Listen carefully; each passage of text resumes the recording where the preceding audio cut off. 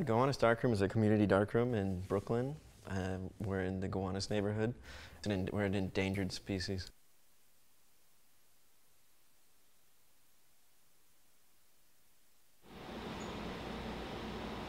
Uh, we started building and collecting equipment and everything last year around October, and uh, we officially opened up for business uh, February 13th, so it's been open for about four and a half months or so. My name is Jonathan Rogers, and I'm 26, and I was the co-founder, and I run the Gowanus Darkroom with my partner Rachel Junn. We have about 10 members right now, um, which is really nice. The kind of people who, who really sort of continue to, to drive the industry forward and not necessarily completely go completely uh, extinct, you know. But, uh, you know, the more exposure there is for analog photography, the better it is for companies to continue making equipment. There's really no reason why one shouldn't uh, take photos with digital cameras digital cameras are really good, especially technology is increasing all the time. But uh, it's a different process.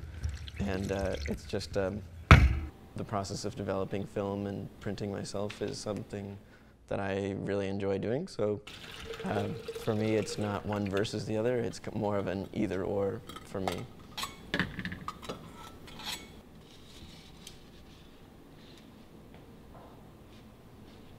So do you consider yourself maybe like an analog photography activist? Not so much an activist, I think more, you know, not necessarily to that point. I mean, I, am more of an enthusiast, but um, I think being an enthusiast in analog photography, you do kind of get that, you, you still do have to be a little bit of an activist. Because there is a, there is a push to, to go make everything digital nowadays. And uh, I don't, I, I just think that that's really sad. So maybe I am an activist.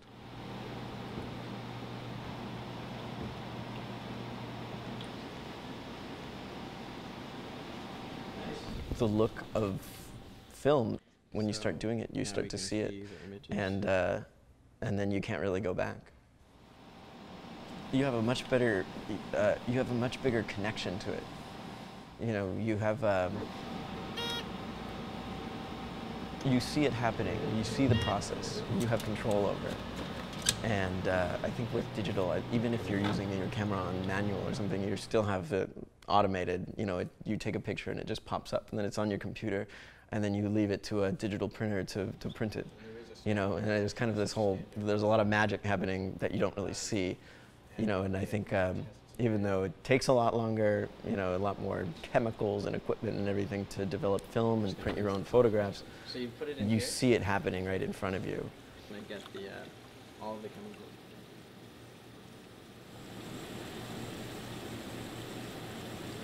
Take this out with this guy.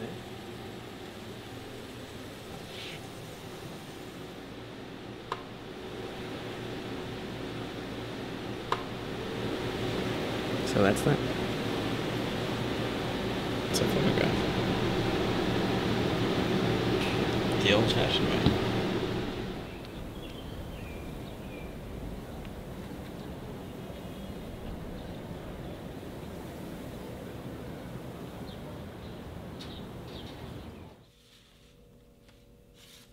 I'm Veronica Hodgkinson, um, and I am what you might call um, an experimental photographer in some ways.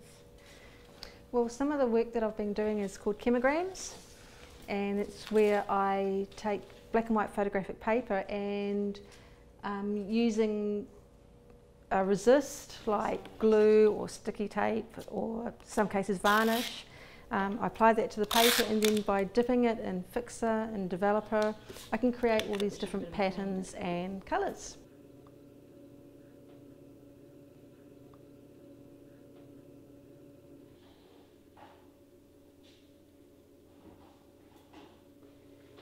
It's just, you know, like it depends on the strength of the chemistry, the temperature of the water, um, how humid it is out here, um, how long the paper's been exposed to light, how old the paper is. This paper expired in 1977, so you know.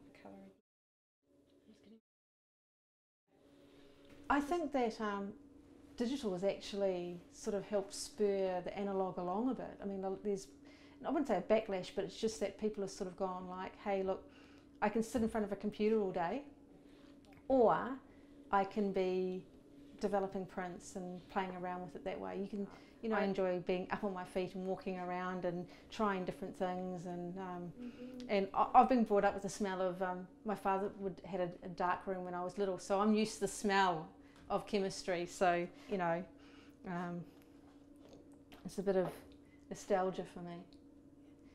But, um,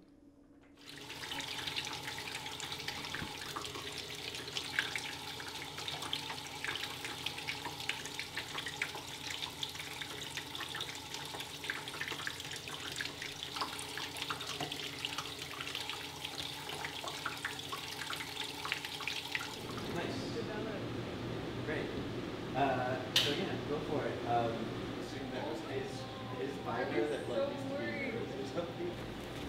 So why did you need a dark room? Why? Oh, um, well, I just took my first actually photography class at school and I fell in love with it. So I got my membership today. Oh, I'm so excited. It's like the most meditative experience of my day.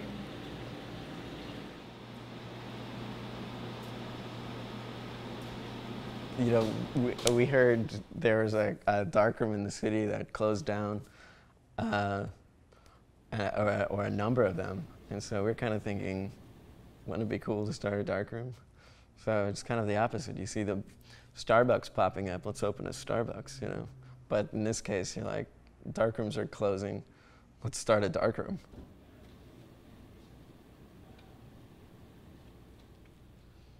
It's kind of a Kevin Costner moment. You know, it's like if we build it, they will come.